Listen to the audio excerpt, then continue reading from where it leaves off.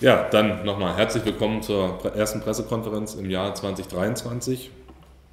Ähm, ich würde heute und wahrscheinlich dann auch zum letzten Mal die Pressekonferenz beginnen äh, mit dem Thema äh, Corona. Hier ist es so, dass wir im Moment ein sehr geringes Geschehen haben. Wir haben 65 Fälle, die im Moment bekannt sind äh, oder gemeldet sind. Wir haben da auch keine besonderen Schwerpunkte. Einrichtungen sind auch schon seit langer Zeit im Landkreis Stendal nicht mehr geschlossen worden oder mussten geschlossen werden. Ähm, auch auf den, bei der Krankenhausbelegung äh, gibt es kaum, also in Seehausen gibt es tatsächlich zum Tag heute zwei stationär befindliche Personen mit Corona. Das ist äh, aber auch, das sind die Personen im Landkreis Stendal. Sprich, das beruht, beruhigt sich auch im tatsächlichen Geschehen sehr. Ähm, Entsprechend der Landesregelung und Bundesregelung, die ja auch äh, angekündigt sind, dass sie äh, viele davon auslaufen, vieles davon zum 31.01. So laufen auch die Allgemeinverfügungen des Landkreises aus, äh, unter anderem zur Isolationspflicht. Ähm, die laufen noch bis zum 31.01. und sind dann auch nicht mehr gültig, sodass auch hier dann ähm, es wie in Sachsen-Anhalt allgemein keine Regelungen zur Isolationspflicht weiterhin geben wird ab dem, 31, ab dem 1.02. was Kranken, also das gilt dann natürlich auch entsprechend, äh, da gibt es ja Abstufungen, was so Bundesfernverkehr, also gibt es ja verschiedene Maßnahmen, die durch das Bundesinfektionsschutzgesetz weitergeführt werden. Ähm, das sind noch bis in den Februar rein den Personenfernverkehr Maßnahmen oder auch äh, Besuchungen von Arztpraxen, Dialyseeinrichtungen, Krankenhäusern, also Gesundheitseinrichtungen, dass die auch in Zukunft äh, dort das, das Maske tragen weiter bestehen wird. Das sind dann aber eben Regelungen, die der Bund getroffen hat, nicht Regelungen, die jetzt hier im Landkreis stattfinden. Und ich halte das auch für sinnvoll. Dann halten wir fest, das ist eine, da geht es um die besonders vulnerablen Gruppen, äh, die dort, die dort zu schützen sind. Und wir haben ja nun gerade durch die Krankheitswellen äh, im November und Dezember, äh, jetzt nach den Weihnachten, hat sich das ja etwas beruhigt zumindest, haben wir ja gesehen, dass es auch außer Corona noch eine ganze Reihe von Infektionskrankheiten gibt, die uns hier zu schaffen machen und die auch ähm, Menschen gefährden. Und deshalb denke ich, macht es auch Sinn, da in den einzelnen Einrichtungen auch weiterhin solche Maßnahmen zu haben. Das läuft bis April, das ist das Bundesinfektionsschutzgesetz, was bis April weiterlaufen wird. Ähm, weitere Maßnahmen über das, was der Bund regelt, hinaus gibt es in Sachsen-Anhalt nicht und damit logischerweise auch im Landkreis Stendal nicht. Ja, das wäre eigentlich schon die kurze und knappe Übersicht zum Thema Corona. Gibt es dazu Fragen? Herr Hartmann, bitte. Ich glaube, ich frage immer wieder gerne äh, nach dem Thema Betretungsverbote.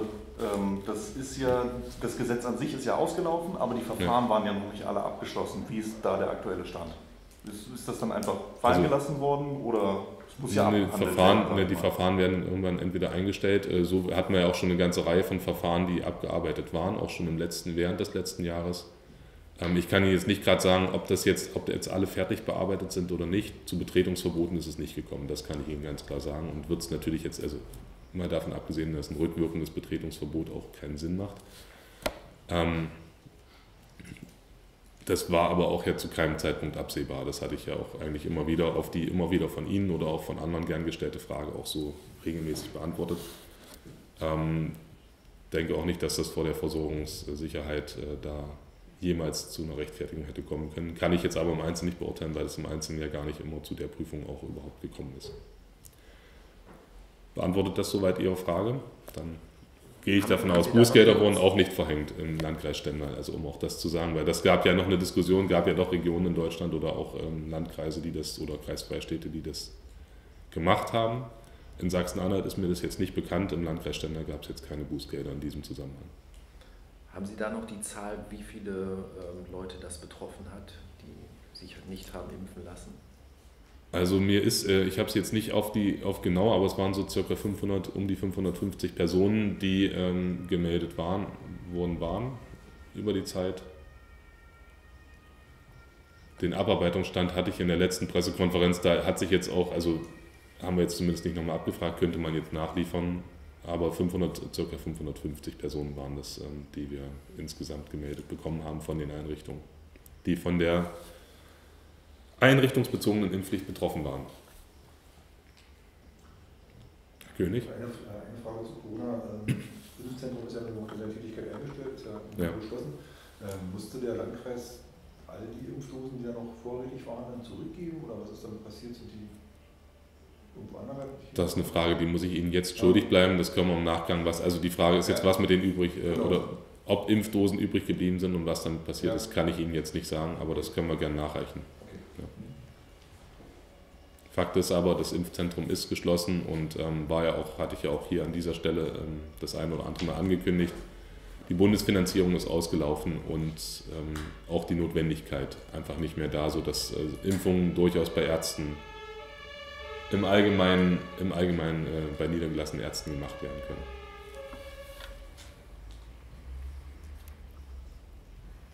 Dann sind wir beim Thema Corona, sehe ich jetzt keine weiteren Fragen.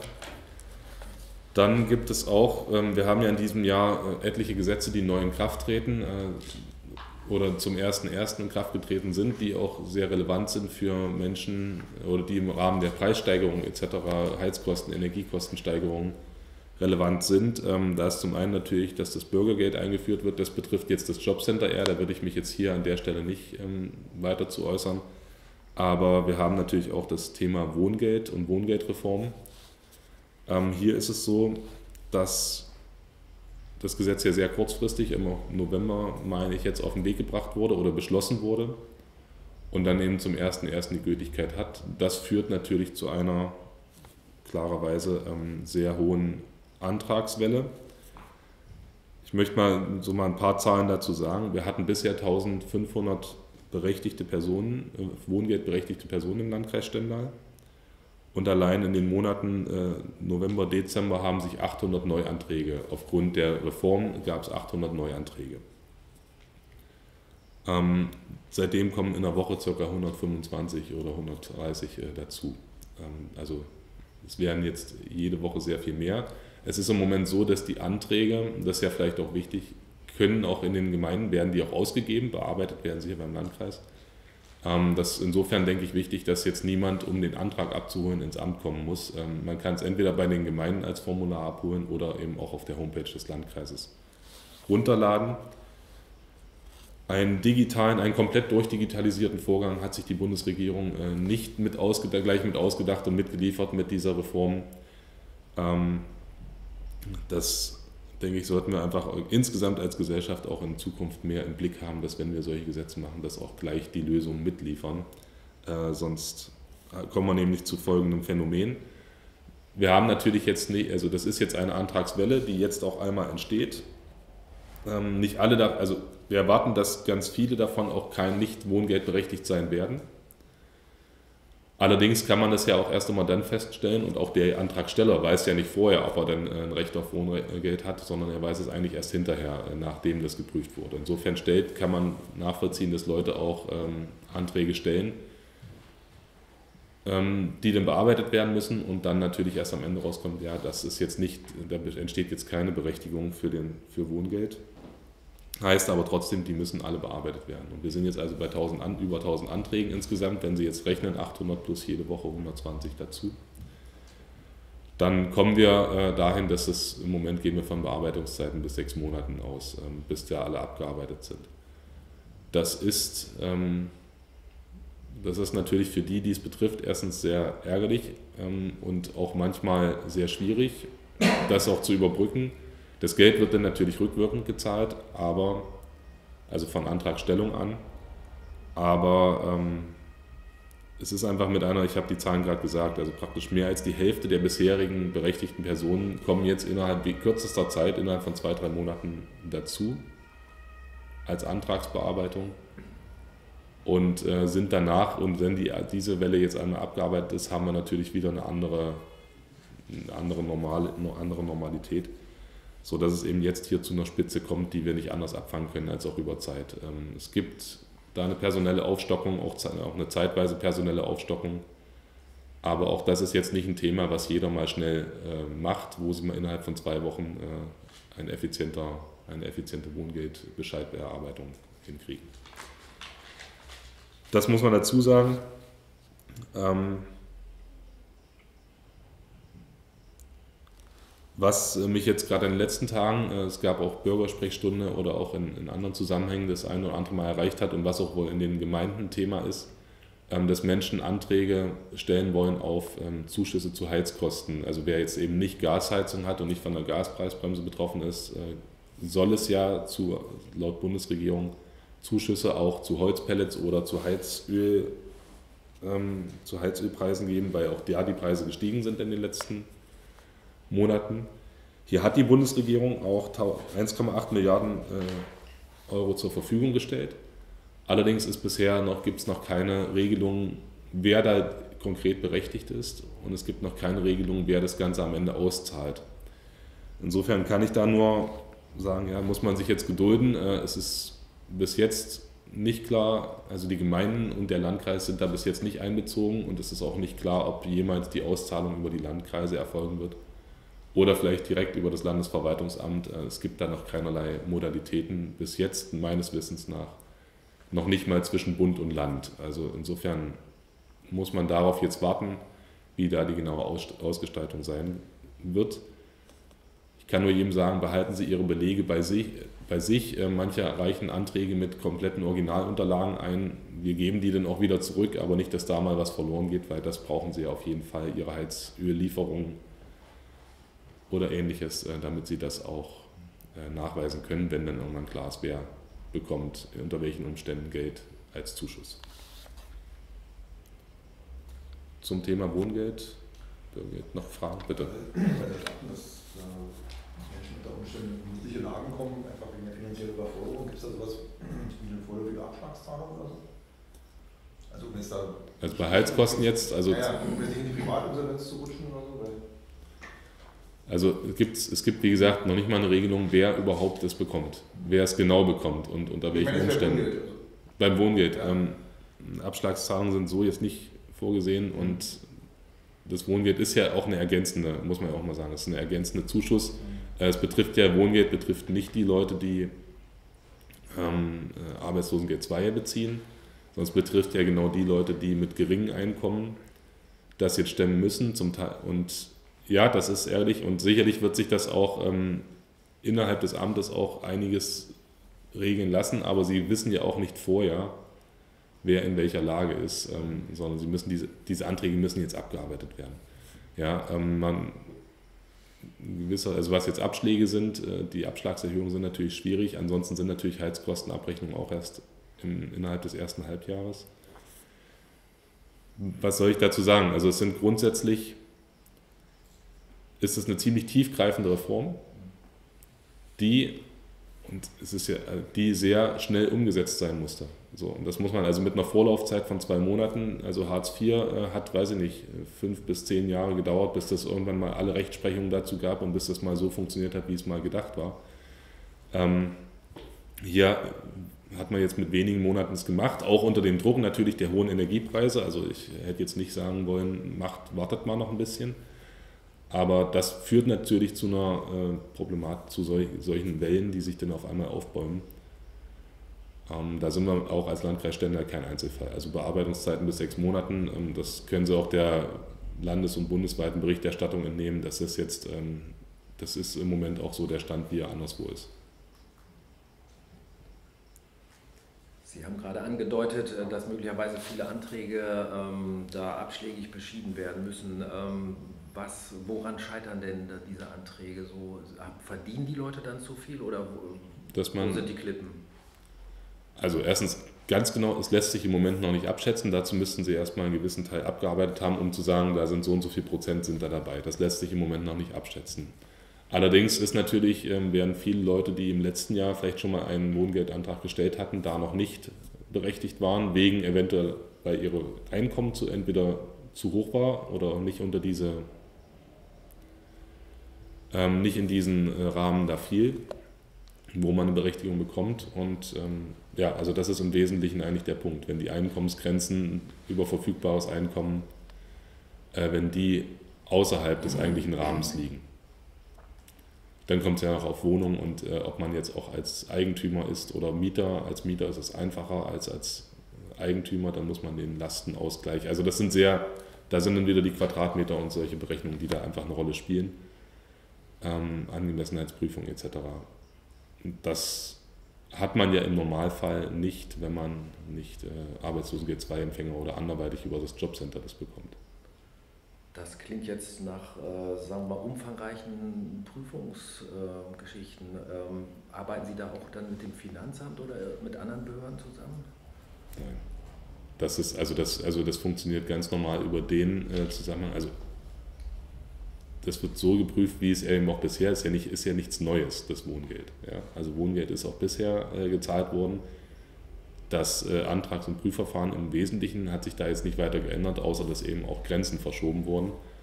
Und dadurch jetzt natürlich viele Leute ähm, sagen, dann ich mache jetzt nochmal den Versuch, äh, auch vielleicht unter dem Druck der aktuellen Kosten. Ähm, der Einfluss der Kosten ist nicht ganz so hoch bei dem Ganzen. Und natürlich die Angemessenheit äh, ist wie bei auch Arbeitslosengeld-2-Empfängern. also ich kann mir nicht die Villa über Wohngeld finanzieren lassen. Ja. Ähm, das macht auch keiner, aber um das einfach nur mal als so ein äh, übertriebenes Beispiel zu nehmen, äh, auch da gibt es Angemessenheitsgrenzen die eingehalten werden müssen und ähm, dann eben auch so, dann eben die Einkommensgrenzen sind der wesentliche Punkt.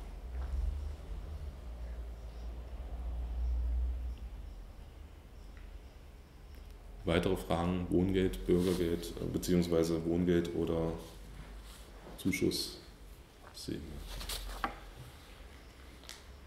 dann würde ich die Gelegenheit gerne nutzen wollen, das ein oder andere ähm, oder Ihnen vielleicht auch Gelegenheit gegeben, Fragen zum Haushalt 2023 zu stellen, also der Kreishaushalt. Ähm, ich möchte ein paar Dinge vielleicht vorab sagen, ohne jetzt in zu große Details zu gehen, weil das Thema selbst kann man eine abendfüllende Veranstaltung und wir haben darüber mehrere Nachmittags- und Abende füllende Veranstaltungen mit den Kreistagsmitgliedern ja auch schon geführt. Ähm, es ist so, dass der Kreishaushalt im Moment ähm, ein Defizit von ca. 18 Millionen hat und dass eine Kreisumlage im Raum steht, ähm, die, äh, also einen Hebesatz äh, auf 48 Prozent zu erhöhen. Das heißt, ähm, wir sind jetzt hier bei technischen Details, das heißt, dass über die Kreisumlage die Gemeinden zusammen im Landkreis etwas über 7 Millionen Euro mehr an den Landkreis äh, zahlen müssten als bisher. Da kommen verschiedene Effekte zusammen. Also es ist jetzt nicht nur die Erhöhung der, des Umlagesatzes, sondern auch dadurch, dass ähm, die Steuerkraft in den Gemeinden des Landkreises gestiegen ist oder in vielen Gemeinden des Landkreises in den letzten Jahren, im Jahr, maßgeblichen Jahr 2021 gestiegen ist. Ähm, da komme ich vielleicht gleich noch dazu. Wie kommt es zu diesem Defizit? Das ist ja, glaube ich, erstmal die, die wichtigere Frage. Ähm, wir haben natürlich in allen Bereichen mit äh, Kostensteigerungen im Moment auch selbst zu tun. Da kommt eine ganze Reihe von Effekten dann in diesem Zusammenhang dazu. Einerseits sind, äh, hat vor zwei Tagen oder vor drei Tagen hat die neue Tarifrunde im öffentlichen Dienst begonnen. Ähm, Forderungen gehen von jenseits der 10 Prozent äh, aus, also Lohnsteigerungen von jenseits der 10 Prozent. Ähm, wir kennen das jetzt inzwischen ja auch Abschlüsse in anderen Branchen, dass das 10% äh, vielleicht nicht realistisch ist, aber dass eben doch von mehr als bisher immer von uns eingeplanten 1 bis 2% Tariferhöhung auszugehen ist, sodass hier ähm, natürlich ein gewaltiger Aufwuchs erfolgen wird, droht aufzuwachsen. Äh, sowohl beim eigenen Personal als auch bei dem Personal, was wir gar nicht im öffentlichen Dienst beschäftigen, sondern Personal in Jugendeinrichtungen, Jugendhilfeeinrichtungen oder ähm, Heimen, wo ja auch dann die Tarife steigen, was dann am Ende auch zu Kostensteigerungen ähm, in den, im Haushalt des Landkreises führt, weil die Entgelte oft dann ja über uns äh, als Land oder aus dem Landkreishaushalt bezahlt werden müssen.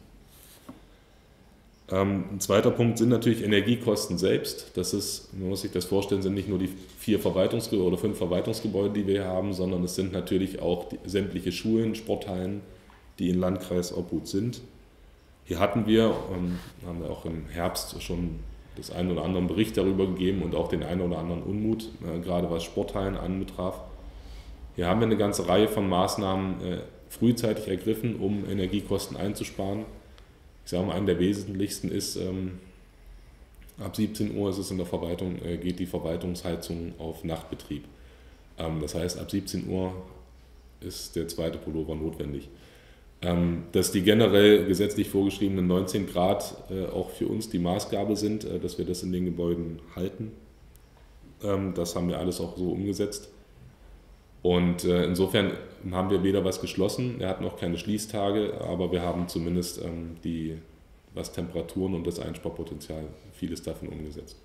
Wir werden da auch in den nächsten Wochen nochmal eine Auswertung dann machen können, was mit Heizkosten, äh, welche Effekte das auch im Großen und Ganzen hatte. Da muss man natürlich sagen, das ist auch immer verzerrt durch das, wir haben einen sehr milden Winter bisher, das kann man natürlich dann auch immer, muss man dann ein bisschen rausrechnen. Der dritte Punkt ist, ähm,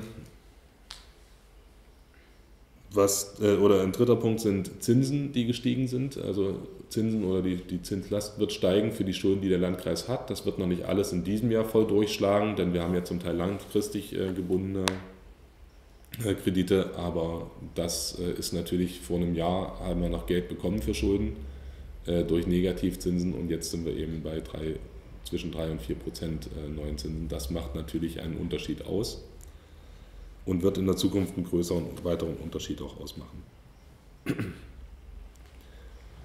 So, wenn man jetzt zur Kreisumlage, weil hier ja auch vielleicht nochmal zum Allgemeinen, wie funktioniert das System Kreisumlage?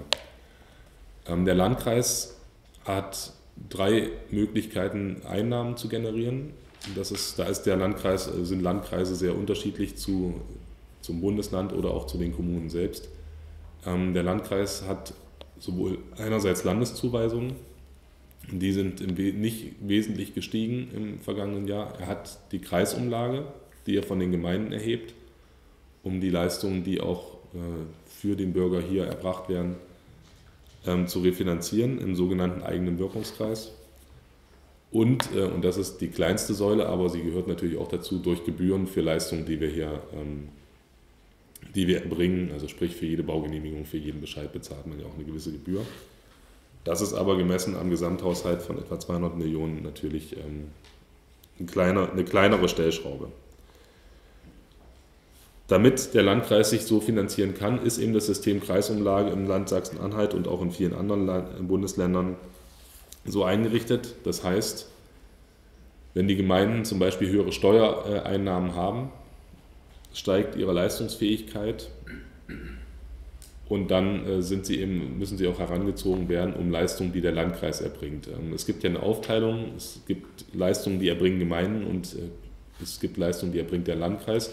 Beides sind kommunale Leistungen. Also wenn ich äh, schaue auf Themen wie Rettungsdienst, Katastrophenschutz, eine Jagdbehörde, Fischereibehörde, das Fahrerlaubniswesen, all das sind ja Leistungen, die ähnlich wie im Einwohnermeldeamt, was bei den Gemeinden liegt, die ja genauso wichtig und direkt äh, für den Bürger entscheidend sind, ähm, wie, ja, wie eben sowas wie ein Einwohnermeldeamt, Personalausweis, alles das, was ich bei meiner Gemeinde regle.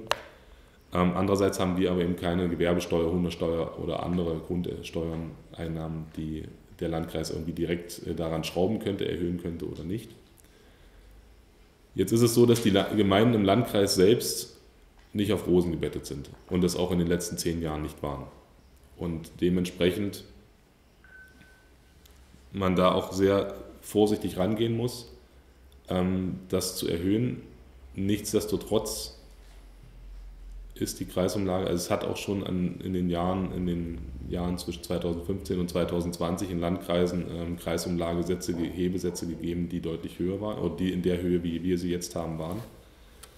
Wir haben im Landkreis Stendal äh, immer die Sondersituation, ähm, dass wir keine Rücklagen haben, äh, aus denen man jetzt ein Defizit, was vielleicht in diesem Jahr oder auch im letzten Jahr ähm, war, dass man damit ausgleichen könnte damit haben wir eine Sonderstellung unter den Landkreisen Sachsen-Anhalt. Also es gibt eine ganze Reihe von Landkreisen, die äh, zweistellig und auch jenseits der 20 Millionen Grenze Defizite in diesem Jahr in ihren Haushaltsentwürfen drin haben oder auch in schon oder in zu beschließenden Haushalten drin haben.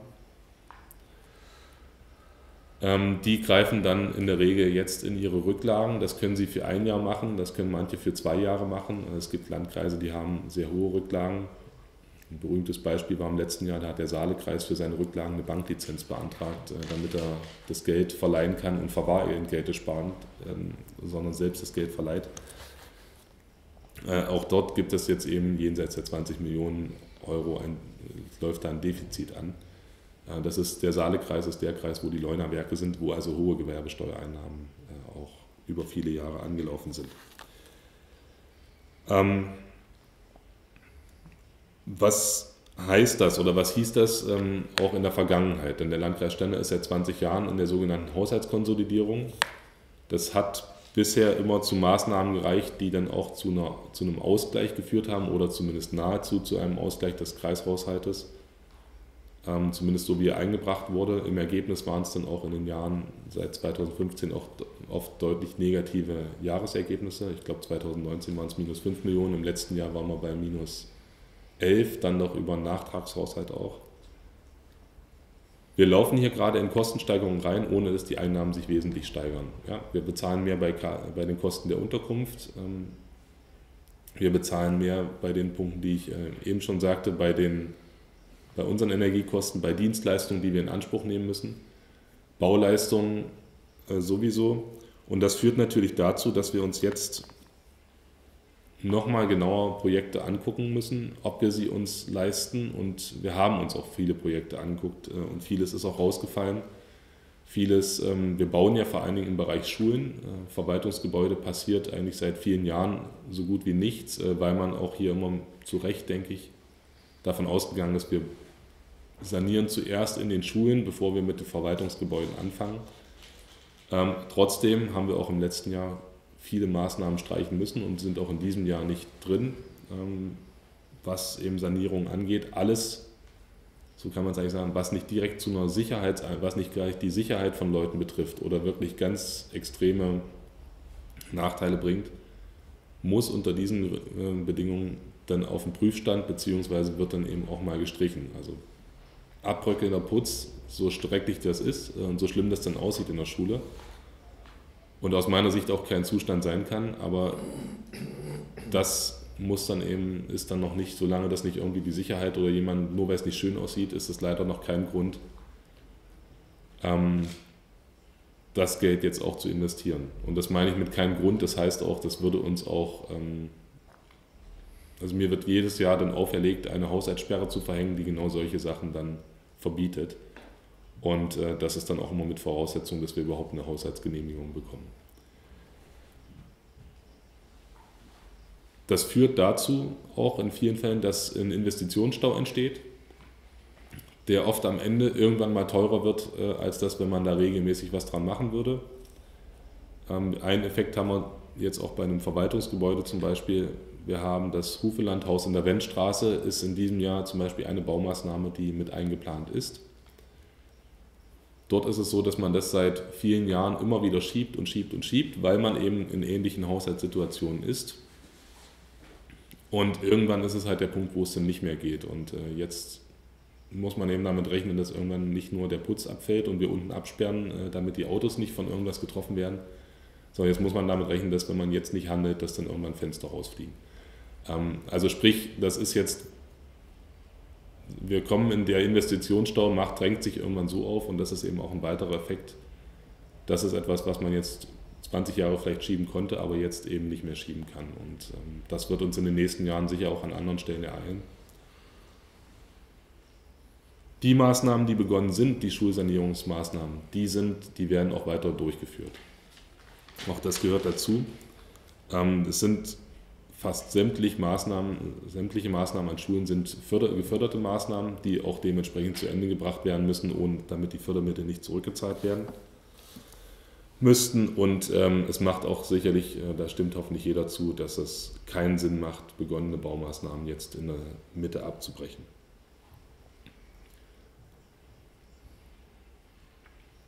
Was wurde eingespart? Auch da vielleicht nochmal so ein paar Dinge. Ähm, die auch wehtun und wo man auch schauen muss, was bringt es eigentlich jetzt, das noch weiter zu kürzen. Ähm, neben den äh, Baumaßnahmen, die ich jetzt schon erwähnt hatte, Straßenbau ist da übrigens auch noch so ein Punkt. Wir haben Straßenbaumaßnahmen auch im 23er Haushalt drin. Die hängen aber vollkommen daran, ob das Land wie im letzten Jahr wieder Straßenbaumittel zur Verfügung stellt. Wenn das nicht kommt, zweckgebunden da Mittel zur Verfügung zu stellen, dann werden Baumaßnahmen aus 23 nicht umgesetzt werden, viele Baumaßnahmen davon nicht umgesetzt werden können. Weil aus dem Kreishaushalt sind sie so nicht zu finanzieren. Im letzten Jahr hat das Land da ähm, recht großzügig, das muss man an der Stelle sagen, Geld bereitgestellt. Ob das in diesem Jahr wieder so kommt, werden wir dann sehen, wenn der Landeshaushalt äh, steht und beschlossen ist. Wir haben auf jeden Fall dafür Vorsorge getroffen, ähm, unter dem Vorbehalt, dass es hier eben Einnahmen seitens des Landes geben wird. Wir haben, äh, wenn man, wer sich noch erinnert, wir haben im letzten Jahr auch in kleineren äh, Summen, muss man dann gerade bei den freiwilligen Leistungen auch das, den einen oder anderen Ansatz bringen. Wir hatten im letzten Jahr im Zusammenhang mit Schulsozialarbeit auch die Sportförderung von 200.000 auf 170.000 Euro gekürzt. Da ist die Sparkasse eingesprungen oder ab diesem Jahr, also wird die Sparkasse in diesem Jahr ja einspringen und das sicherlich auch weiter tun. Aber das sind so Maßnahmen, die wir ja auf den Weg gebracht haben. Wir haben verschiedene Stellen, auch ähm, Einrichtungen der Sucht- und Drogenberatung zum Beispiel, die äh, Anfang 22 stark diskutiert wurde, auch im Kreistag.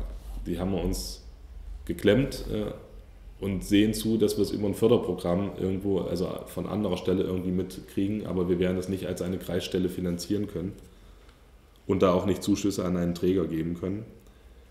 Ähm, da hängt es dann eben auch daran, ob man das unterbringen kann in allgemeinen Arbeitsmarktprogrammen oder in anderen Förderprogrammen. Ähm, es geht bis hin in so Kleinigkeiten, äh, Reduzierung Budget des Landrats, also das, äh, ich sage mal Blumensträuße, also ich, die Blumensträuße kaufe ich oft genug selbst, weil das, was da dann ist, äh, auch nicht mehr dazu ausreicht, alle Blumensträuße, die man im Laufe eines Jahres hier hat, äh, zu finanzieren. Ähm, ich will damit eigentlich nur sagen, hier werden keine goldenen Wasserhähne verbaut, wie es jetzt manchmal, wie ich es manchmal aus so Stadträten äh, jetzt zu hören bekomme. Wenn Sie durch unsere Verwaltungsgebäude und unsere Schulen gehen, dann sehen Sie nicht goldene Wasserhähne, sondern sehen Sie eben auch abplatzenden Putz. Und ähm, das ist schon schwierig als Zustand, aber das ist, ähm, das ist leider die Realität, die sich daraus ergibt, aus einer sehr starken Unterfinanzierung, die nicht nur der Landkreis hat, sondern auch die Kommunen, die ja jetzt auch durch die Kreisumlage stark belastet werden wenn es dann so beschlossen wird im Kreistag. Weil die letzte Entscheidung über den Haushalt und damit auch über die Kreisumlage und die Abwägung dazu trifft der Kreistag und hier ist bis jetzt vorgesehen, den 23.02. Äh, ist der nächste Kreistag, dass es hier auf der Tagesordnung steht. Bis dahin, oder es gab jetzt äh, mehrere Haushaltsklausuren mit den Kreistagsmitgliedern und äh, es wird ja auch in der nächsten Woche den äh, wieder einen gemeinsamen Ausschuss des Finanzausschusses und Kreisausschusses geben, äh, wo wir dann da nochmal weiteren, wo vielleicht auch nochmal Änderungswünsche kommen ist, oder auch Änderungen seitens der Verwaltung, die sich in den letzten zwei Monaten ergeben haben, nochmal eingebracht werden.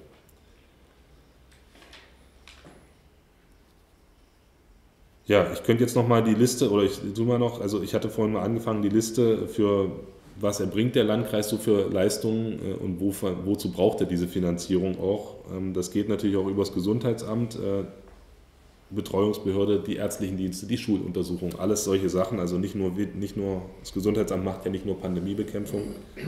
Ähm, es geht über das Bauordnungsamt, keine Baugenehmigung ohne Ordnung, Bauordnungsamt und ohne Umweltamt, dass die vernünftig arbeiten. Äh, je weniger Leute oder je schlechter die arbeiten, desto länger dauert es. Äh, auch solche Dinge, äh, Jugendangebote. Viele der Jugendangebote sind äh, stark von den Gemeinden mit unterstützt, aber im Wesentlichen auch Aufgaben des Landkreises. Also offene Jugendarbeit findet sehr viel ähm, durch den Landkreis statt. Kreisvolkshochschule, Kreismusikschule ist, äh, sind alles Leistungen, die auch dazu gehören. Wir können uns, da sind wir so auch im Bereich freiwillige Leistungen natürlich in dem Fall. Aber auch hier muss man sagen, wenn man alle freiwilligen Leistungen zusammennimmt, äh, dann sind es vielleicht zwei bis drei Millionen. Also wenn man wirklich alles, was nicht zwingend Pflicht ist und zu harten Einschnitten führt, dann sind es vielleicht zwei bis drei Millionen, die gespart werden können. Vieles davon als Einmaleffekt. Das ist also alleine das, äh, wir gönnen uns hier nicht übermäßig viel. Die freiwilligen Leistungen werden so bei 1,2 Prozent äh, eingeschätzt oder eingeordnet. Ähm, das ist erlaubt sind so eine Spanne oder vorgesehene Spanne zwischen 1 und 3 Prozent. Also da schrammt der Landkreis am unteren Rand. Ähm, da gibt es jetzt auch nicht große, wir gönnen uns da mal was oder wir haben uns da in der Vergangenheit so viel gegönnt. Ähm, wir laufen hier auch tatsächlich auf eine oder immer weiter in eine Spirale der chronischen Unterfinanzierung äh, hinein, denn wir haben natürlich in jedem Jahr ein Defizit. Im letzten Jahr waren es 11 äh, Millionen Defizit In diesem Jahr sind es 18 Millionen bei einer gewaltigen Kreisumlageerhöhung, die dann mit ziemlicher Sicherheit auch ausgelutscht ist, dass ich da im nächsten Jahr kann man da nicht nochmal was draufpacken. Ähm, und wenn Sie das natürlich über die Jahre sehen, bauen sich dadurch Schulden auf, denn das Defizit von 18 Millionen ist ja im nächsten Jahr nicht weg. Ähm, und diese Entwicklung von sich den auftürmenden Schulden, die dann wieder mehr Zinsen kosten, äh, das ist ein Problem der chronischen Unterfinanzierung von Kommunen. Äh, da meine ich auch die kommunale Familie, Landkreise und Gemeinden insgesamt, die uns da auf eine ziemliche Katastrophe zusteuern lässt. Und das sieht man ja spätestens daran, äh, dass eben kein Landkreis es in diesem Jahr schafft, einen ausgeglichenen Haushalt hinzulegen, ohne in die Rücklagen zu greifen. Und ich denke, das ist dann schon doch bezeichnend, äh, wenn das in dieser Form passiert und sich da keiner von ausnimmt. Und äh, ich sage das deshalb auch nochmal an der Stelle als Landkreistag, also sprich als der Verband der Landkreise in, in, in Sachsen-Anhalt, verhallen oft äh, die, die Kämpfe, die wir da auch führen mit der Landesregierung ähm, oder auch die Lobbyarbeit, die man dann natürlich beim Landtag, wo es ja um die Haushaltsgesetzgebung geht, macht, dass da vieles verhallt. Deswegen sage ich es auch an der Stelle nochmal ganz ausdrücklich. Jetzt habe ich sehr lange über Haushalt und so weiter äh, und allgemeinen Dinge dazu geredet. Gibt es Fragen oder noch irgendwo, wo man es nochmal pointierter zusammenfassen soll? Dann gerne Ihrerseits, Herr Hartmann. Sie hatten über die Straßenbaumaßnahmen gesprochen und dass da auf die Landesfördermittel äh, oder auf die Landesmittel gewartet wird. Äh, was ist denn die dringendste Straßenbaustelle, die quasi als letztes runterfallen würde? Haben wir da schon ein Ranking oder? Also es geht dabei um Neubaumaßnahmen, auch das ist, also es geht nicht um bauliche Unterhaltung. Wir haben das, muss aus dem äh, regelmäßigen, also sowas wie eine, die, die Asphaltdecke erneuern. Das ist eine bauliche Unterhaltung, das ist etwas, was aus dem Kreishaushalt bestritten werden muss. Das wird in, mit einem jährlichen festen Betrag, äh, der aber auch nicht, der eigentlich deutlich gesteigert werden müsste, aber eben auch nicht gesteigert werden kann bei dieser Situation, äh, finanziert. Es gibt eine ganze Reihe von Brücken, äh, die sind aus den 1900, die sind über 100 Jahre alt. Ja, die halten jetzt auch noch vielleicht ein Jahr, aber dafür werden diese Mittel eingesetzt. Äh, es gibt äh, Straßenprojekte, die auch schon seit vielen Jahren äh, vorgesehen waren, immer wieder auch ausgesetzt wurden wegen Unwirtschaftlichkeit oder eben weil die Mittel dazu fehlten. Ähm, dafür haben wir jetzt die sieben Millionen, die wir im letzten Jahr, knapp sieben Millionen, die wir im letzten Jahr bekommen haben, auf den Weg gebracht. Die werden jetzt auch umgesetzt, die sind gebunden. Die Straßenbauprojekte, also ich habe, muss ich Ihnen jetzt ganz ehrlich sagen, ich habe die Auflistung nach Jahren jetzt gerade nicht im Kopf vor mir. Also ich weiß, dass in diesem Jahr angegangen wird, äh, zum Teil in Planung, zum Teil auch in Umsetzung, Brücken in Eden, ähm, Straßenabschnitt Hemmerten-Storkau äh, ist etwas, eine Maßnahme, die auch schon 2018 und 2019 im Haushalt stand, dann immer wieder rausgenommen wurde. Also wir haben einfach vorhandene Listen oder vorhandene Projekte dann einfach äh, jetzt in die Umsetzung gegeben, als diese Mittel kamen. Die Auflistung kann ich dann aber nur nochmal nachreichen. Die ist im Bauausschuss, also die ist vorgestellt worden im Bauausschuss und ich glaube auch im Kreistag, ähm, die kann man Ihnen aber gerne nochmal zukommen lassen, habe ich jetzt nicht im Kopf ausführlich vor mir. Schicken wir also Ihnen nochmal die zwei kurze Nachfragen noch. Sie hatten gesagt, äh, 7 Millionen Euro müssen die Gemeinden jetzt dann, wenn, wenn der Hebesatz erhöht wird, mehr zahlen. Wie viel mhm. zahlen die denn jetzt ungefähr? Müsste ich, also muss ich jetzt ganz kurz, also ich meine, es sind etwas 42 und wir kommen jetzt auf 48. Ich müsste jetzt aber nochmal genau, da würde ich jetzt gerne nochmal genau nachschauen, also aber so in der Größenordnung. Mhm, okay. ähm, manche Erhöhung hätte sich aber auch ergeben, zum Beispiel Stendal hätte auch so eine Erhöhung dieser in Euro eine Erhöhung äh, ergeben von ca. 2 Millionen, äh, allein wenn der Hebesatz gleich geblieben wäre. Also sprich, es gab halt erhöhte Steuerein Gewerbesteuereinnahmen äh, im Jahr 2021, das ist das für dieses Jahr maßgebliche. Und, äh, oder überhaupt andere Einnahmen, ähm, es sind nicht nur Gewerbesteuer. Und damit äh, wäre das jetzt gestiegen. Es gibt äh, die Einheitsgemeinde Bismarck, die in diesem Jahr äh, trotz der Hebesatzerhöhung äh, absolut in absoluten Zahlen weniger zahlt, ähm, weil sie halt im Jahr 21 geringere äh, Einnahmen hatte als in den Jahren davor. Das kann im nächsten Jahr aber sich auch wieder sehr umdrehen. Ähm, wir können immer, besonders starke Ausschläge gibt es immer bei Arneburg. Äh, ich sage mal, wenn in Arneburg im Industriepark, wenn dort äh, irgendein Effekt, wie auch immer, eintritt, dann sind es gleich mal Millionen Gewerbesteuerausfälle oder eben Mehreinnahmen, je nachdem. Und dann steigt die Kreisumlage für Arneburg oder steigt oder sinkt um mehrere Millionen Euro für eine der, insgesamt ja sehr kleine Gemeinde. Ähm, und so gibt es also auch so jetzt, sage ich mal, Effekte, sind, die Gemeinden sind in diesem Jahr unterschiedlich stark betroffen, wie sie in jedem Jahr unterschiedlich stark betroffen sind von der Kreisumlage. Das hängt einfach von ihrer eigenen Steuerkraft ab und auch von dem, was sie dann an Landeszuweisungen bekommen. Das ist immer auch äh, ein Stück weit ungerecht, weil es natürlich heißt, äh, ich steigere mal, ich habe meinetwegen eine Ansiedlung oder ich habe mehr Einnahmen aus erneuerbaren Energien als Gemeinde. Und es fällt mir aber zweifach wieder, ich habe also eine deutliche Steigerung von vielleicht einer Million mehr Einnahmen. Und es fällt mir aber auf die Füße, weil ich einerseits vom Land weniger kriege, wenn ich mehr Einnahmen selbst habe aus dem Finanzausgleich und andererseits bei der Kreisumlage dann eben auch äh, weiter vorne anstehe. Das, ähm, ob dieses System glücklich ist, und äh, das kann ich nicht sagen. Und äh, ich glaube, Bürgermeister und Landräte beneiden da an der Stelle die Oberbürgermeister der kreisfreien Städte, ähm, wo das alles eins ist und man sich das nicht, ähm, das kurze Tischtuch nicht 30 Mal über den Tisch ziehen muss, äh, weil es eben hinten und vorne nicht reicht, äh, sondern dass man dann einfach klar hat, das ist jetzt ein Gesamthaushalt, Kreis und Gemeinde.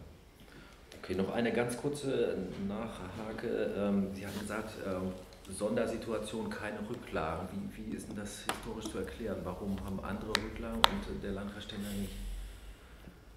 Das hat, man hat das, also es gibt da natürlich verschiedene. Es sind einmal die Rahmenbedingungen, also die wirtschaftlichen, strukturellen Rahmenbedingungen. Äh, ich hatte vorhin gesagt, der Saalekreis äh, hat, kann eben auch mal 20 Millionen für 1, 2, 3 Jahre aus der Rücklage entnehmen, bevor es dann alle ist. Ähm, solch in der Höhe wie jetzt 18 Millionen hat es hier nie Rücklagen gegeben im Landkreis Stendal. Ähm, das hat also was mit den strukturellen Daten auch zu tun. Ähm, das hat auch damit zu tun, äh, dass auch andere Landkreise äh, in manchen, in vielen Jahren äh, sehr viel höhere Kreisumlagesätze, Hebesätze zum Beispiel hatten, als oder in der Höhe, wie wir sie jetzt haben, wobei 48 Prozent schon wirklich das obere Ende abbildet. Also ich glaube, das höchste, was es jemals gab, waren 49 Prozent. Oder zumindest in den letzten 10, 15 Jahren der Zeitraum, den wir überschaut haben. Ja, und mit Rücksicht auf die Kommunen hier äh, ist es, hat man es eben in der Vergangenheit nicht. Man hat immer so, dass der Haushalt ausgeglichen ist. Ähm, dennoch waren die Kreisumlage äh, immer schon, also sie war deswegen nicht besonders niedrig, aber eben auch nie in einer Höhe, dass davon auch am Ende des Jahres was übrig geblieben ist. Beziehungsweise der Plan müsste ja jedes Jahr ein Plus ausweisen, damit Rücklagen aufgebaut werden. Ähm, und das ist hier nie passiert und die Jahresabschlüsse, also sprich die Ergebnisse des Jahres, äh, wenn Mehrkosten entstehen, was ja passieren kann im Laufe eines Jahres, dann war es eben eher, dass es ins Negative ging. Und das seit 2013 gab es wenige Jahre, in denen das Jahresergebnis positiv war und dann war es mal eine Million oder auch mal zwei. Ähm, in den meisten Jahren war es aber deutlich negativ. Ja, 2020 war, glaube ich, ausgeglichen, da gab es eine Menge Sondereffekte Corona. Äh, Sonderzahlungen, die dann aber im nächsten Jahr wieder angerechnet wurden bei den Landeszuweisungen, sodass wir damit im Endeffekt auch nicht so viel gewonnen haben. Deswegen waren ins, ins 21 und 22 deutlich stärkere Defizite wieder da. Ich schaue mir an, dass es äh, Messungen gibt, die der Landkreis für die Kommunen erbringt und ja. haben mir da mehrere Punkte genannt, die unter anderem die Stadt Stendal ja selbst vorhält. Also es gibt ja, wenn man ja. jetzt von oben betrachtet, Doppelstrukturen, also zwei Bauordnungsämter, zwei Rechnungsprüfungsämter, wenn ich mhm. weiß, gibt äh, zwei Volkshochschulen und so weiter. Also ja. wäre es nicht jetzt auch angesichts der Klammenlage der Stadtständer, wäre es jetzt nicht äh, Gebot der Stunde, quasi Fusionsverhandlungen aufzunehmen? Also grundsätzlich ja, also gerade was so diese Ämter angeht, äh, gibt es ja die Stadt, also wird sich der Landkreis dagegen nicht sperren. Das ist natürlich eine Entscheidung, die bei der Stadt Stender liegt. Ähm, ob man jetzt das Bauordnungsamt oder das Rechnungsprüfungsamt, ob man das selber haben möchte oder nicht, das ist eine Entscheidung, die Stender trifft. Ähm, das, äh, der Landkreis hat es als Aufgabe, die Stadt Stendal hatte aufgrund ihrer Größe eben irgendwann die Möglichkeit, das zu machen. Das mag auch im Einzelnen sinnvoll sein, das will ich gar nicht beurteilen. Möchte aber jetzt gar nicht den Druck dazu tun. Ähm, ich denke, in dem Fall macht es, also Rechnungsprüfungsamt und Bauordnungsamt kann es durchaus sinnvoll sein. Äh, ob, am Ende muss aber das, was die Arbeit, die jetzt in Ständer liegt, muss auch dann getan werden. Ähm, das wird man effizienter machen können in einem größeren Team. Äh, ob das jetzt natürlich, äh, deswegen bleiben aber nicht die Baugenehmigungen, die in Ständer jetzt gemacht werden, auf einmal liegen. Also der Einspareffekt ist sicherlich da, äh, aber nicht, dass man das im Ständer einfach wegrationalisieren kann und kostenneutral hier aufbauen kann. Trotzdem finde ich das richtig und wir sind ja auch im Gespräch und gerade Rechnungsprüfungsamt ist ja doch recht konkret, ist die Stadt auch dabei, äh, sich das anzugucken. Ähm, Kreis Volkshochschule und Kreis Musikschule ist ja jetzt zurzeit immer wieder Thema, das auch zusammenzulegen. Da muss man jetzt natürlich zwei Dinge sehen. Ähm, da gibt es dann vielleicht äh, eine oder zwei Stellen, die, sich, die man tatsächlich einsparen kann. Allerdings muss man auch sehen, die Kreisvolkshochschule hat keine Angebote in Stendal und die Stendaler keine im, im weiteren Kreisgebiet. Wenn man es jetzt zusammenlegt und Kosten sparen will, dann was vielleicht auch kommt und notwendig wird, früher oder später, äh, jetzt im Moment aber gerade nicht der Punkt ist. Wenn man da Kosten einsparen will, dann muss das beim Angebot was passieren. Und das ist jetzt nur vom Zusammenlegen selbst, sparen sich die Kosten noch nicht, sondern sie sparen sich am Ende nur, ob das Angebot anders wird. Und im Moment, ähm, ohne das jetzt im Einzelnen genau äh, durchgucken zu können, sind die Angebote, auch was die Musikschule angeht, sind die jetzt ähm, fallen, also sind das jetzt nicht nur Doppelstrukturen. Natürlich gibt es manche Kurse doppelt, aber der Landkreis ist eben auch so groß wie das Saarland. Ähm, da gibt es wohl auch mehr, mehrere Volkshochschulen. Also durchaus weiter überprüfenswert. Äh, Kreis Volkshochschule hatten wir auch schon mal einen Anlauf vor zwei Jahren. Aber genau, wir müssen uns klar sein, wenn das zu einem Einspareffekt führen soll, dann werden, wird es nicht das gleiche Angebot sein. Also 1 plus 1 wird dann nicht 2, sondern wird dann eben nur 1,5 wenn man da Kosten sparen will. Ansonsten macht es auch keinen Sinn unter dem Kostengesichtspunkt. Und mit 1,5 haben sie dann natürlich weniger Angebote. Ja. Also das muss uns dann nur klar sein. Ja? Und ansonsten sperre ich mich dagegen überhaupt nicht. Ähm, ich denke auch, dass das sehr sinnvoll sein kann. Und wir sind hier im Bereich freiwillige Leistungen, äh, was Volkshochschule, Musikschule angeht, äh, wo wir gucken müssen, das Angebot, die Einsparungen retten unseren Haushalt nicht, weder der Stadt noch des Landkreises. Und wir müssen natürlich immer auch gucken, was machen wir uns damit kaputt, wenn wir solche Institutionen, ähm, das hört ja da nicht auf, ne? wir gucken beim Theater weiter, wir gucken, wenn wir solche Institutionen wirklich alle abschaffen, um dann am Ende zu sagen, so jetzt haben wir nicht mehr 17 Millionen Defizit, jetzt haben wir 15,8. Ähm, ja, da ist sämtliche Vereinsförderung raus, da ist Sportförderung raus. Und wenn wir das alles rausnehmen, dann, dann kommen wir auf sowas hin. Das kann, also der Flurschaden kann es aus meiner Sicht nicht sein. Wenn man damit den Haushalt decken oder deckend hinkriegen könnte, muss man sehen dann kann, und sagt, okay, in drei Jahren hat man sich dann saniert. Aber die Perspektive wird dadurch nicht wirklich besser. Ähm, Sie sagten auch, das ist ein strukturelles Problem, äh, das unterfinanziert. Also wenn es jetzt ein Unternehmen wäre, der Vergleich kommt ja öfter mit Privatpersonen, hm. dann müsste Privatperson müsste wahrscheinlich Privatinsolvenz auch einmelden. Dann ist man ja äh, nach, früher nach sieben Jahren, jetzt ist es ein bisschen weniger, äh, ist man ja quasi schuldenfrei und raus aus den Schulden. Äh, Gibt es irgendein Instrument, was Landkreise in diese Lage versetzen könnte? Also erstmal ist der Landkreis keine Firma, ich sage es auch an dieser Stelle nochmal. Ich finde es aber völlig richtig, weil der Vergleich kommt oft und er drängt sich ja erstmal auf. Der Landkreis ist insofern äh, keine Unternehmen, was insolvent geht äh, dabei, weil ein Unternehmen würde sich ja sanieren müssen, und zwar indem es Aufgaben abstößt.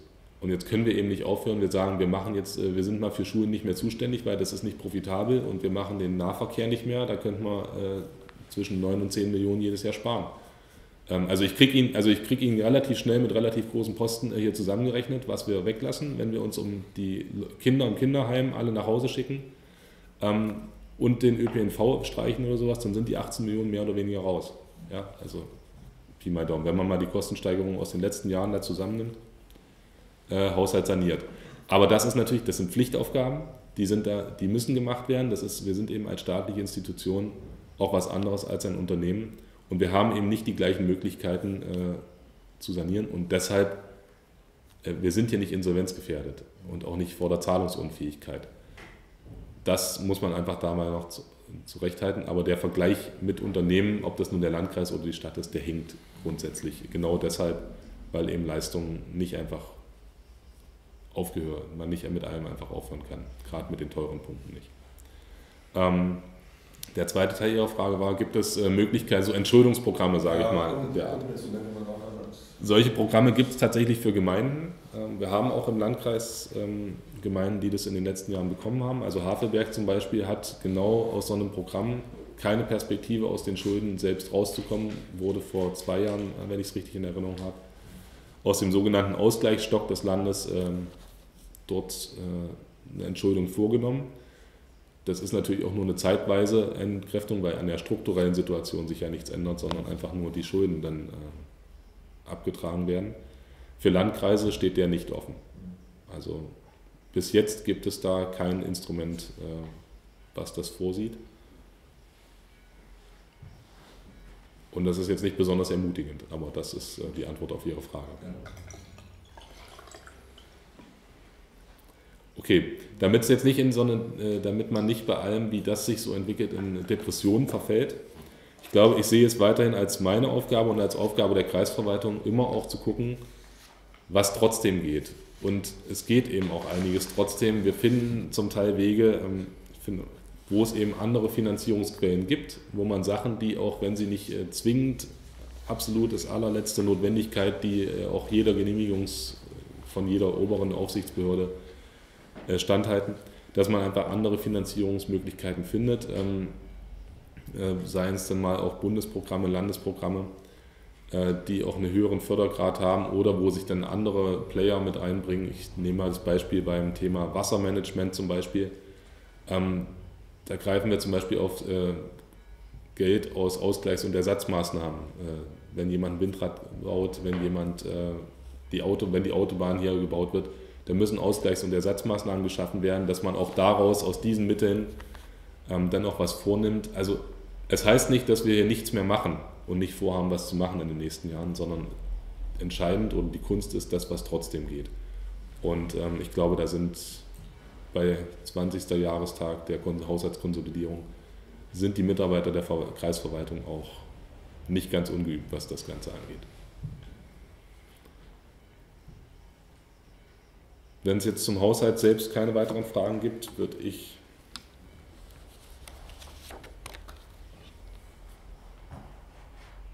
noch zum Thema Ukraine äh, einige Punkte sagen wollen. Ähm, Wesentlichen gibt es hier jetzt nicht viel Neues. Äh, es kommen relativ wenige neue Personen äh, in den Landkreis.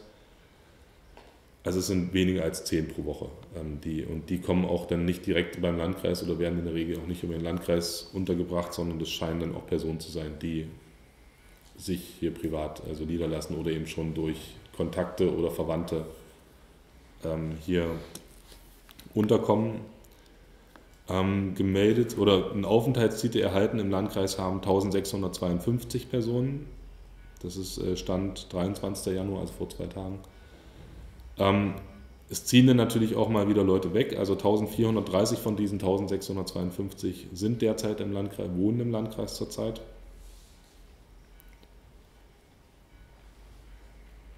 Wenn man das mal auf die ähm, Jahrgänge runterbrechen will, dann sind es im, äh, von 0 bis 5 Jahren 142 Personen, oder Kinder in dem Fall.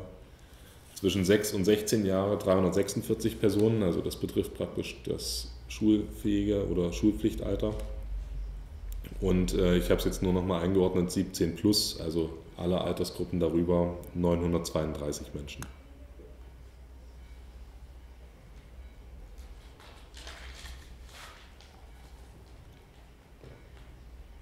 Gibt es dazu noch, zu diesem Thema noch Fragen? Bitte, Herr Hartmann. Im weitesten Sinne, äh, ehemalige Kinder- und Frauenklinik wie ist da der aktuelle Stand? Ähm, da ist ja nachts immer noch relativ viel Licht, das wurde ja eigentlich leer gezogen. Was ist da momentan los? Ich kann Ihnen jetzt gerade nicht sagen, wer da nachts Licht anmacht. Aber das ist mir ja interessant nachzufragen. Aber ich fahre da auch nachts nicht so oft vorbei. Was heißt denn nachts, Herr Hartmann? Ähm, naja. Wenn es wirklich dunkel ist. Können wir im Nachgang nochmal. Gut, dunkel ist ab, am Abend, okay. Äh, ich kann Ihnen das jetzt im Moment gerade nicht, also weiß jetzt nicht, wer da jetzt gerade durch. Ich meine, da muss ja, also wie so ein Haus ist, das Haus muss ja gespült, müssen ja Anlagen unterhalten werden und ob das jetzt jemand vormittags oder nachmittags macht, das kann ich Ihnen jetzt nicht, habe ich jetzt nicht im Blick. Ja, grundsätzlich ist das im Moment leergezogen und äh, es wird nicht genutzt. Der laufende Verkaufsprozess, gibt es da ein neues Update oder? Kann ich Ihnen jetzt nicht was Neues sagen als äh, bei den letzten Malen, das ist weiter im Prozess.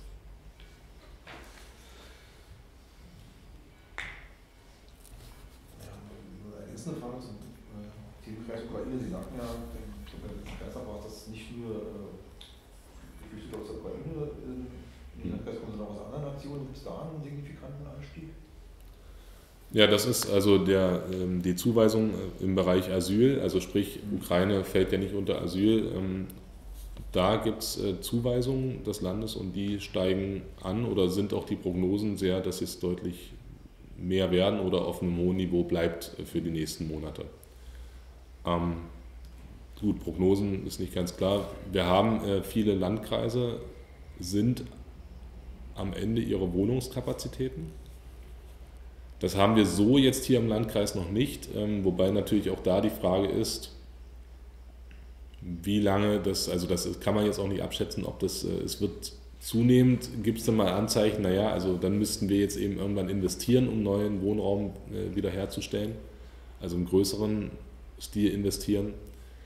Ähm, das ist im Moment, also im Moment kommen wir da noch nicht an Kapazitätsgrenzen, aber natürlich ist das auch im Landkreis Stendal ähm, irgendwann erschöpft. Du, wenn man arbeitet, also muss jetzt nicht beantwortet werden, aber aus, aus welchen Herkunftsländern, wie viele kommen im vergangenen Jahr oder sowas, um eine Entwicklung zu sehen? Hm.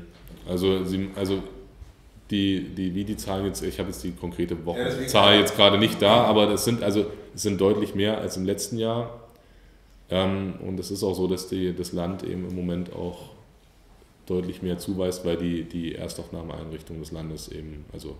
Zum Teil sind es ja Provisorien, ähm, die Kapazitäten einfach äh, voll sind. Genau. Und deswegen manchmal die Leute sehr viel direkter äh, schon auf die Landkreise verteilt werden, als es eigentlich üblich ist. Äh, manchmal eben auch ohne, dass sie schon mal, ähm, also ohne, dass die Erstregistrierung vollständig ist etc., sondern dass die direkt in Landkreise kommen. Und das, genau. führt zu, das führt zu Problemen und Mehrarbeit, die sonst eigentlich nicht mehr da war in den letzten Jahren. Und dass man das mal jemandem vertragen, dass ich das machen kann, das wäre Mit Herkunftsnationen muss man sehen vermute, dass wir das so ähm, überblickshaft. Welchen Zeitraum, Herr König, haben Sie sich da jetzt vorgestellt? Ja, sagen, das ist jetzt mehr als vergangenes Jahr, also, also vergangenes Jahr wahrscheinlich mehr als vorvergangenes oder so, äh, dass man irgendwie mal eine Entwicklung sieht. Steigerung von, also von 21 auf 22, 23 ist ja nicht aussagefähig, ist ja Quatsch, aber. Äh, oder man sagt, mhm. dass jetzt im Januar schon mehr gekommen sind als im ganzen zweiten Halbjahr. Also wir gucken mal irgendwas, sind, also dass man irgendwie sinnvolle genau, Monats, genau, Monatswerte oder sowas, genau. meinetwegen dann Januar äh, 22 und Januar 23 oder sowas. Genau. Wobei der ist ja auch noch nicht um. Also ja, wird schwierig. Also ja, irgendwas ja. Ähm, wie wird denn das jetzt so gehandelt? Also wenn Sie sagen, das sind steigende Zahlen, ähm, wenn die Leute jetzt hier so kommen wöchentlich, ähm, was wird denn mit denen gemacht? Die äh, werden Sie ja jetzt wahrscheinlich nicht so ad hoc dann auch in einzelne Wohnungen reinstecken können. Äh, oder ist hier in der Gemeinschaftsunterkunft in Stendal so viel Kapazität, dass die da alle untergebracht werden können oder wie läuft das? Ja, zum Teil ist es tatsächlich so, dass wir Wohnungen, also das sind Prognosen, avisierte Zahlen und da haben wir Wohnungen, da richten wir Wohnungen für her. Das ist die Praxis auch in den letzten Jahren.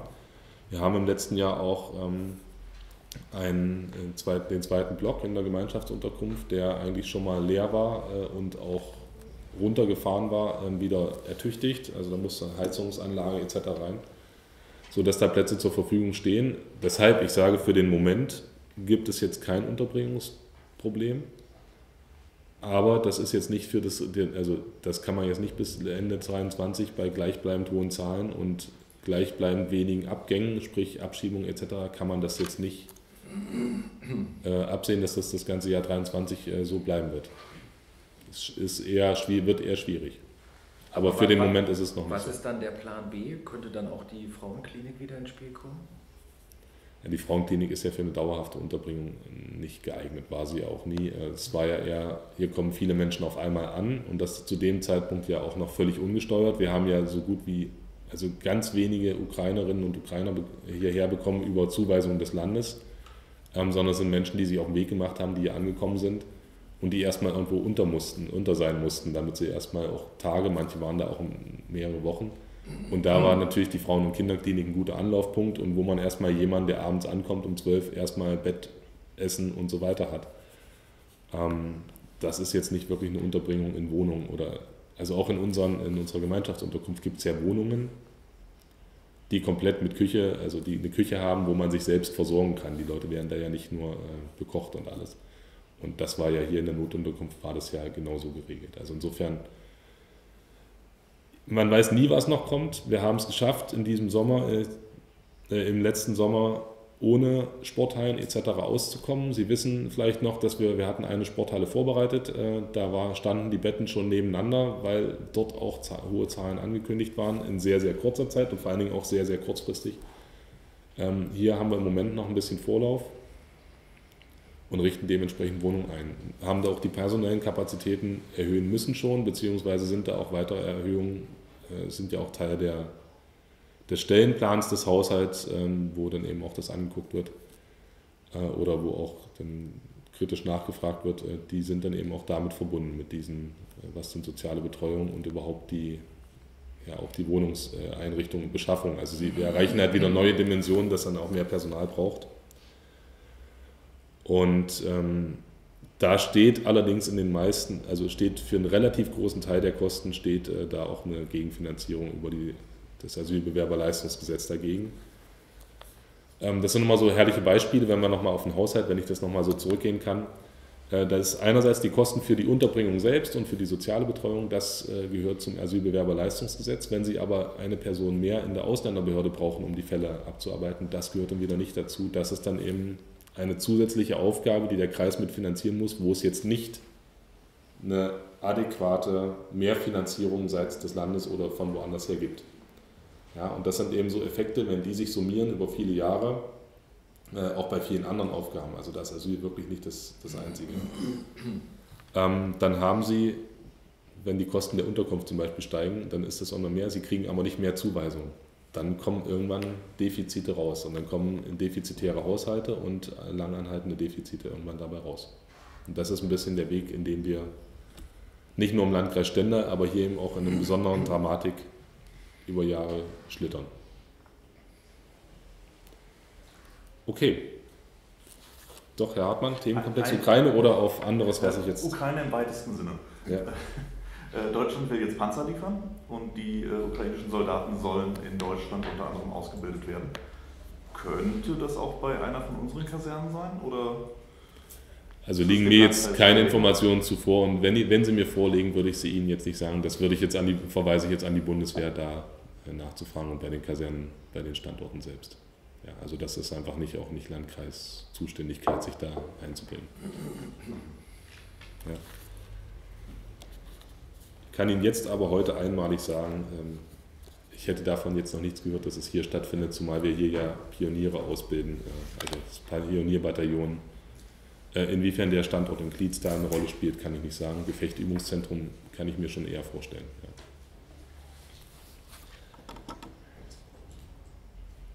Ich würde gerne noch ganz kurz zum Führerscheinumtausch ähm, nochmal appellieren oder zwei Dinge oder zwei, drei Dinge sagen. Ähm, Führerscheintausch ist äh, durch unheimliche Wellen der in den letzten anderthalb Jahren gekennzeichnet. Wir haben äh, Wellen, wo die Leute plötzlich ihren Führerschein umtauschen wollen, weil gerade wieder auch medial berichtet wird, beziehungsweise weil jetzt das Datum ran ist. Ähm, das letzte Datum für die Jahrgänge bis 1965 war jetzt der 19. Januar. Ähm, Im November und Oktober hatten wir hier wochenweise äh, sehr mau ausgefüllte Terminkalender. Äh, das heißt, äh, da, hatten wir, da waren jeden Tag Termine in Größenordnung frei. Jetzt sind wir wieder so, dass jetzt äh, im Zuge, dass das Datum rum ist, Leute, wir für die nächsten sechs Wochen ausgebucht sind an Terminen.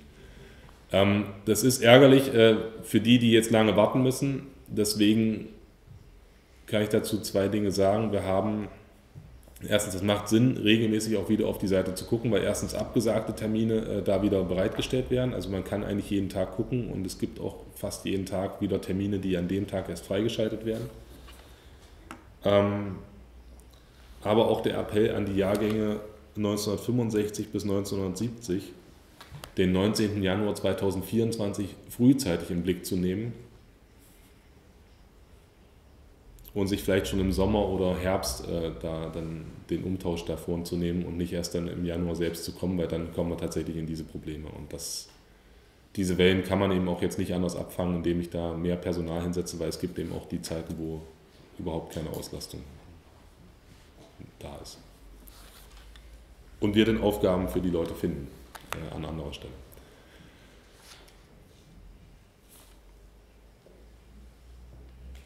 Ja, gibt es Ihrerseits noch Fragen? Dann kündige ich nur noch äh, abschließend an. Hochwasserkonferenz äh, in diesem Jahr jährt sich der, äh, das äh, Hochwasser 2013, das Elbe-Hochwasser 2013 zum zehnten Mal. Und äh, da wird es ähm, auch wieder eine Hochwasserkonferenz in Präsenz geben. Geplant ist sie in Fischbeck. Es wird am 10. Juni, das ist der traditionelle Tag auch der Hochwasserkonferenz, weil das der Tag des, äh, der Jahrestag des Deichbruches ähm, in Fischbeck ist. Und dort wird es im Zeitraum von 10 bis 14 Uhr wird da eine Veranstaltung geben, äh, wo sich auch, wo wir gemeinsam mit dem Landeshochwasserbetrieb, äh, der Landkreis, aber auch noch verschiedene andere Landesbehörden und natürlich die Kommunen, die dort ja vor allen Dingen im ostelbischen Bereich besonders betroffen waren, ähm, das gemeinsam dort diese Veranstaltung planen. Ähm, gab dazu auch schon zwei Planungstreffen. Wie der genaue Ablauf ist, werden wir dann, ich sag mal, im Frühjahr bekannt geben und dann auch entsprechend äh, eine Öffentlichkeitsarbeit dafür herstellen. Aber vielleicht an der Stelle schon mal, es wird das ähm, auch in diesem Jahr geben und wieder als eine große Veranstaltung in Fischbeck. Allerdings nicht auf dem Deich, ähm, den werden wir damit einbeziehen, sondern äh, am Dorfgemeinschaftshaus und äh, dort gibt es ja auch Pläne für ein Hochwassermuseum und auch das soll dann einfach in dem Zusammenhang ähm, mit einbezogen werden.